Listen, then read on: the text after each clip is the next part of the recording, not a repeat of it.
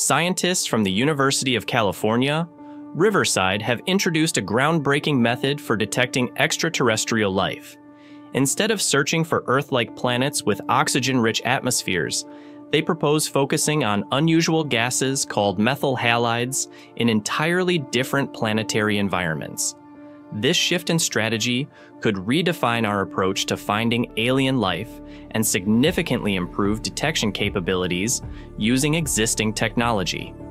In this video, we will explore what methyl halides are, why they are promising biosignatures, and how Hycean planets provide ideal conditions for their detection. We'll also examine the role of the James Webb Space Telescope in this exciting search and what the future holds for astrobiology. Methyl halides are relatively simple molecules consisting of a methyl group, one carbon atom bonded to three hydrogen atoms attached to a halogen atom like chlorine, bromine, or iodine. On Earth, these compounds are primarily produced by bacteria, marine algae, fungi, and certain plants, making them strong candidates as biosignatures, chemical indicators of life. While some non biological processes like volcanoes and forest fires produce traces of methyl halides, the vast majority come from living organisms. Marine algae and certain soil bacteria release these gases as metabolic byproducts. Their biological origin makes them promising indicators of life beyond Earth, particularly in planetary atmospheres where they could accumulate to detectable levels. On Earth, the presence of oxygen rapidly breaks down methyl halides. However, in hydrogen rich atmospheres, they could persist in much higher concentrations, making detection far more feasible. This key factor underpins the UC Riverside team's hypothesis. Focusing on environments where these gases can accumulate significantly increases our chances of identifying alien life. From a detection standpoint, methyl halides have an advantage due to their distinct absorption patterns in infrared light. The James Webb Space Telescope can analyze the starlight passing through a planet's atmosphere and detect specific gases based on their spectral fingerprints. Unlike traditional biosignatures like oxygen, which are challenging to detect with current technology, methyl halides stand out clearly in the infrared spectrum, making them a prime target for observation. According to lead researcher Michaela Leung, methyl halides could be identified in as little as 13 hours of Webb's observation, a significantly shorter time compared to other biosignatures. Given the intense competition for telescope time, this efficiency means more planets can be surveyed, improving our chances of making a groundbreaking discovery. The researchers also compared how methyl halides behave in different planetary atmospheres, alongside traditional biosignatures like oxygen and methane. While oxygen is challenging to detect due to observational noise and telescope limitations, methyl halides offer a viable alternative for identifying life with existing instruments, particularly in hydrogen rich atmospheres.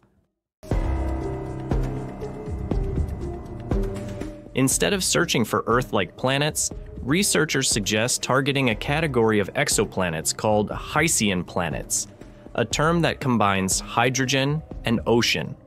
These planets have deep global oceans and thick hydrogen dominated atmospheres. Most of them orbit small red dwarf stars, which are the most common type of star in the galaxy. Hycean planets have only recently gained attention as potential candidates for life. Traditionally, astronomers have focused on the Goldilocks zone, the region around a star where liquid water could exist on the surface. However, Hycean planets challenge this notion. They are larger than Earth, but smaller than Neptune, and sustain liquid oceans beneath thick hydrogen rich atmospheres. While humans couldn't survive in these environments, certain microbes could thrive there. What makes Hycean planets particularly valuable is their detectability with current technology. Unlike Earth like planets, which are small and dim compared to their host stars, these planets provide clearer atmospheric signals due to their larger size and closer orbits. As co author Eddie Schwieterman explains, unlike an Earth like planet, where atmospheric noise and telescope limitations make it difficult to detect biosignatures, Hycean planets offer a much clearer signal. Anaerobic life, microbes that do not rely on oxygen, could be a strong candidate for thriving in these worlds. Schwieterman notes these microbes, if we found them, would be adapted to an entirely different environment, but the production of these gases would still be a plausible metabolic output. Another key factor is that Hycean worlds allow for the accumulation of methyl halides at much higher concentrations than in oxygen rich atmospheres. The researchers' models suggest that even modest biological production of these gases could result in detectable levels, reinforcing the case for focusing on Hycean planets in the search for alien life. These planets are likely widespread throughout the galaxy. Red dwarf stars make up about 75% of the Milky Way's stars, and many of them host planets of suitable size and distance to be potential Hycean worlds. This significantly expands our pool of potential life harboring exoplanets.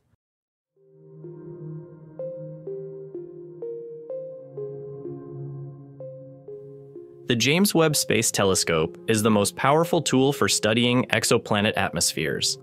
Launched in December 2021, Webb was designed to observe in the infrared spectrum precisely where methyl halides have their strongest absorption features. Using transit spectroscopy, Webb can analyze the light filtering through a planet's atmosphere as it passes in front of its star, identifying the gases present.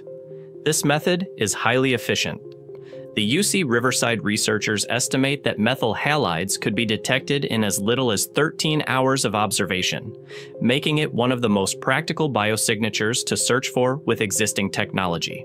This efficiency allows for a larger number of planets to be examined, increasing the probability of detecting alien life. This research builds upon previous biosignature studies. Other promising candidates include dimethyl sulfide, produced by marine phytoplankton, and phosphine, which was detected in Venus's atmosphere. Additionally, methane detection on Mars remains an intriguing subject, as periodic spikes could indicate biological activity. These discoveries underscore the importance of exploring alternative biosignatures beyond traditional markers like oxygen. Looking to the future, upcoming missions like the European Large Interferometer for Exoplanets, LIFE, could revolutionize biosignature detection. LIFE, expected to launch in the 2040s, would use nulling interferometry to directly observe exoplanets while blocking out their host star's light, significantly enhancing biosignature detection capabilities. If multiple exoplanets exhibit signs of methyl halides, it would suggest that microbial life might be widespread across the universe.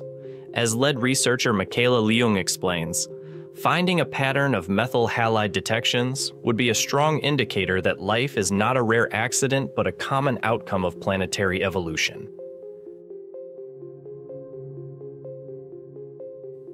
Thank you for joining this exploration of methyl halides and the search for alien life. If you found this fascinating, stay tuned for more insights into space, science, and our quest to understand the universe. Until next time, Keep looking up and wondering what or who might be looking back.